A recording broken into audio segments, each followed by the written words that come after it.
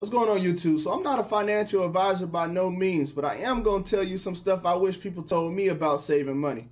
Like, really, it's not that hard to save money, especially if you got a steady paycheck coming in. Now, just keep that in mind. I'm talking about the people with a steady paycheck, but I'm also going to talk about the actual percentages of people who don't save. You know what I mean? So we're going to get into that video right now.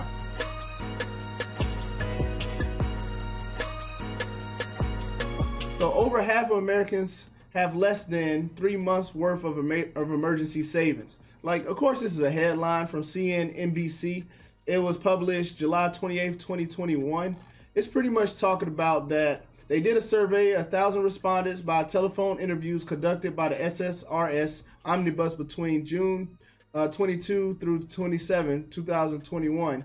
So, for about 25% of the survey respondents indicated having no emergency savings at all. It's up from the 21% who said they didn't in 2020, and another 26% say they have some but not enough to cover up their their expenses for 3 months. Okay, why is that important? So like if you get hurt or you hit a downfall or a downtrend happens in our economy, we lose a lot of money. I'm to go ahead and give you a perfect example. COVID-19 shut down a lot of things. So like people were definitely in a hardship. And so a lot of people weren't able to pay their bills. And so what the government did was gave us some money to try to stimulate the economy. We all know how that went because we're living through it now.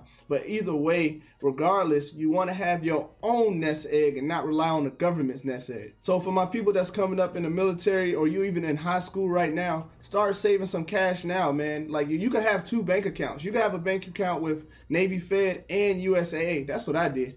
And then that way USAA for me was my secondary. And I was like, you know what? I could put some money to USAA, USAA, and then I never even see it leave my Navy Fed paycheck. So it'd be like fifty dollars each paycheck for about five years going to this account that I hardly even look at, but it's accumulating those funds. That way I'm saving. That way I always got that three months worth of an emergency fund. Now, of course, those are just imaginary numbers. I ain't telling you how much money I got on YouTube, but I'm just saying. And then also, man, I'm gonna tell you another reason why I try to save money. I try to get out this lifestyle of this cycle of we move, we go into an apartment and we pay somebody all this money just to live. Like we can have our own houses too. We can have our own condos too. So just because you're in the military, don't think that you can't invest in real estate or you can't go get a real estate license or become a licensed real estate agent. Or if you want to go um, buy commercial properties or you want to go buy land, all of that stuff is available to us. And all you got to really do is know it, is have somebody tell it to you, I guess. And that way you could just save for those things. I tell you right now, when I was 17, 18, probably about to 25, 20, 26, I wasn't thinking about buying no land.